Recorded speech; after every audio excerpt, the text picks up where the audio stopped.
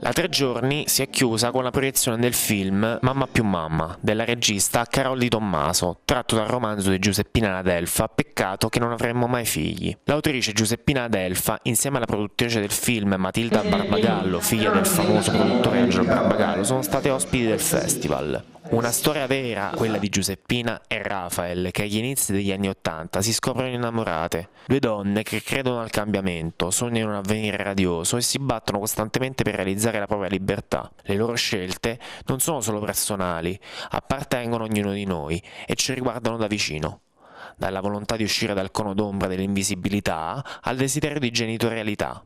La consapevolezza di ciò che hanno vissuto tra Francia e Italia contribuirà a influenzare la vita di molte persone. Ah, molto bella, un, due giorni belle ricche perché oggi appunto c'è stato l'incontro con gli studenti, è stato molto bello, hanno fatto delle domande, è stato uno scambio molto proficuo per tutti, ci siamo divertiti, abbiamo raccontato tante cose.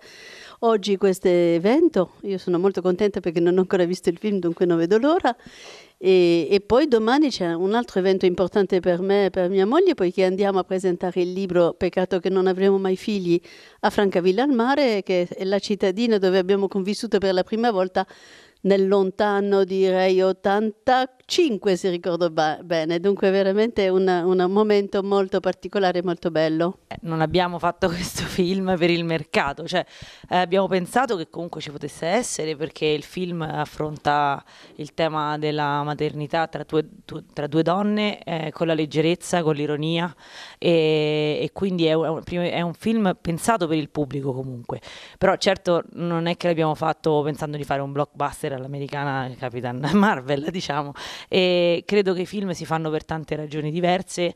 Eh, questa storia per me era molto importante da raccontare. A moderare l'evento del festival è stato il giornalista scrittore Fabio Giuliano. Il film non ha come tema portante solo l'omosessualità, ma anche un confronto con il paese e le persone che lo abitano, vecchi, ex, amici ed extracomunitari. Carol Di Tommaso si interroga su quanto è difficile per due donne avere un figlio, raccontando con ironia e spensieratezza la vicenda dell'autrice del romanzo.